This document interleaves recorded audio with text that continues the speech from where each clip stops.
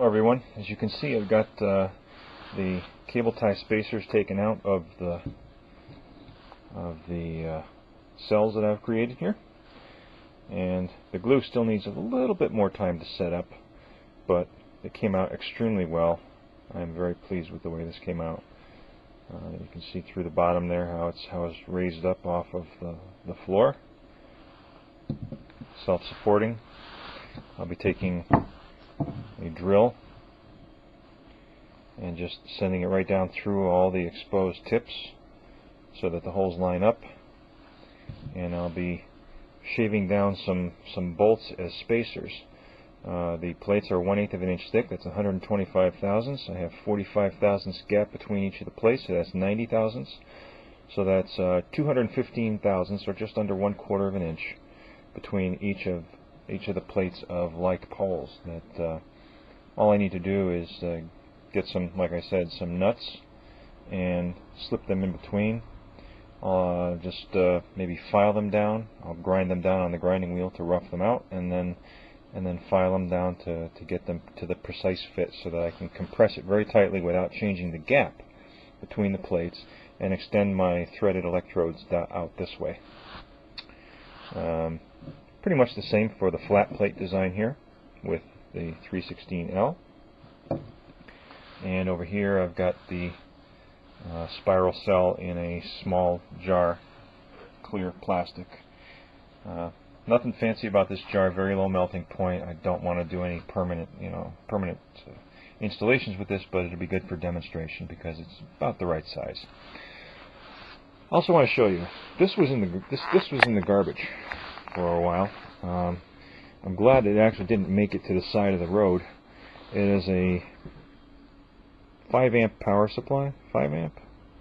I don't know. They call it a 4 to 6, 4 amp continuous, 6 amp can, uh, intermittent, but it had a cigarette lighter jack on the front with the fuse and the battery output terminals. The transformer on this thing, you can see, is pretty black. macro there. There. Transformer is pretty black because these two rectifiers on the printed circuit board shorted out. I don't know if uh, the electronics on the board shorted out, but the transistor on the heatsink survived. This is a 2N3055, which is an excellent transistor for uh, creating pulse circuitry power output stages for. And it suddenly occurred to me this evening that this is going to make a great project box for my pulse width modulators. I'm simply going to rebuild it and put this heatsink on the back with the MOSFET mounted to it instead of the 2N3055 and take out this power transformer, take out this printed circuit board, and mount uh, my hand-wired circuit board in here yeah, just going to mount the, the hand-wired circuit board flat. And uh, this is going to make a really nice little project box.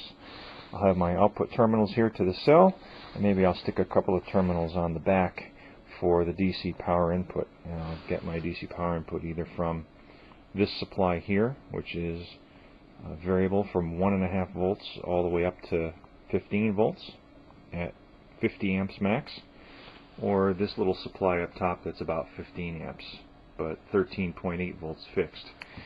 Obviously I want to use this because it's regulated and variable. Okay then, uh, I've got the framework together for the pulse width modulation device.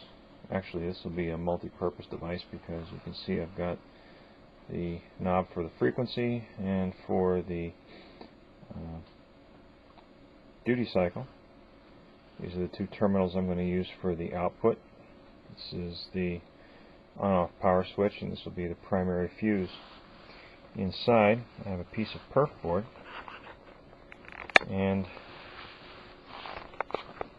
it is a fairly large piece of perforated material which is a good sized canvas to paint on. I can build quite a bit on a board that size. So this should be interesting. Have the power MOSFET mounted to the inside of the box.